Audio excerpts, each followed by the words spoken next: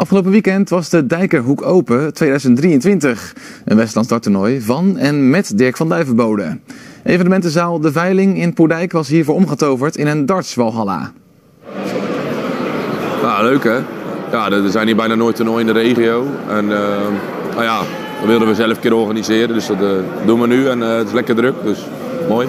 Ja, het is ontzettend gezellig. Een hele mooie dag gisteren gehad. Heel veel positieve reacties. En uh, gisteren de recreanten en TikTok en de koppels uh, in de avond. En vandaag gaan we de heren en de dames singles uh, spelen. Ja, het is leuk. Dus, het is een mooi toernooi. Het is een groot toernooi, eindelijk hier in de buurt. Dus ja, het is een eer om hier te mogen gooien. Leuk. Mike Kuivenhoven timmert als darter ook flink aan de weg en begon in het Westland al vroeg met darten. Oh, ja, dat is al heel lang geleden, 2004 in Café de Pet bij de Heenweg. Daar zijn we begonnen met, uh, met darten bij Toon Verlier. En uh, ja, eigenlijk de laatste jaren in het Hof, in onze tijd.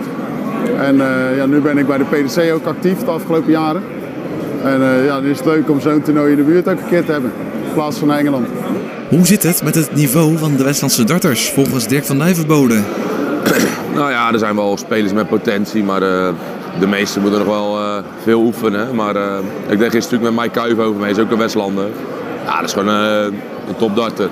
Ook eigenlijk wel, die, doet bij de, die speelt gewoon maar de PDC. En voor de rest, ja, er zitten leuke darts tussen.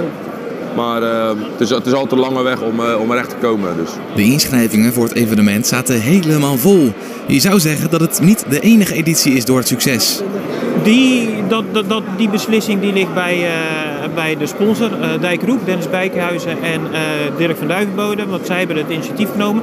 Wij vinden het heel geslaagd. We zijn echt heel erg tevreden over de locatie. De sfeer is fantastisch die er hangt. het deelnemersaantal is goed. Dus voor ons is het heel erg voor, voor herhaling vatbaar. Ja, dan gaan we natuurlijk evalueren na het weekend. Hè. Dan gaan we kijken wat beter kan en of, het, of, het, of het een jaarlijks evenement wordt, of dat het eenmalig was, of in een andere variant. Dat weten we allemaal nog niet.